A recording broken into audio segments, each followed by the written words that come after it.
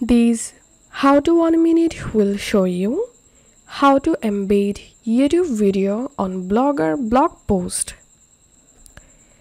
So as you can see I'm in my Blogger blog post and here's I added or embedded a YouTube video and as you can see it's totally responsive. Now follow this step-by-step -step guide to learn how you can add your YouTube video to your blogger website like this.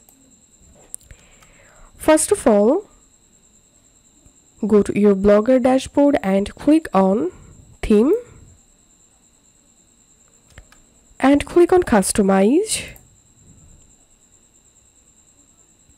and click on advanced click on this drop down and here scroll down and select add css and in this video description below you will get this code all you have to need just copy these first code and paste it here and click on save once it's saved now go to the post where you want to add your YouTube video. I'm going to creating a new post. And here make sure to select HTML view. And I'm copying the post title.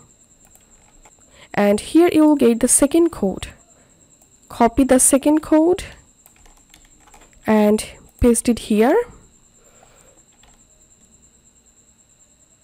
And here you will get this vid id you have to enter here your youtube video id to get your youtube video id go to your youtube video and here is and here you will get your youtube video id copy your id and paste it here like this and click on publish.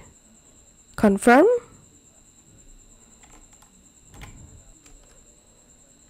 and now I'm going to view the post. And here we can see the video has been added in responsive way. And note one thing that the video is not auto playing if you want to add a YouTube video with autoplay system then you have to copy this second code.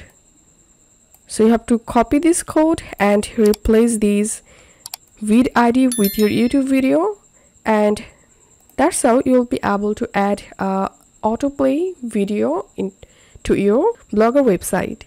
If you find this video helpful don't forget to subscribe. How to one minute. See you in the next video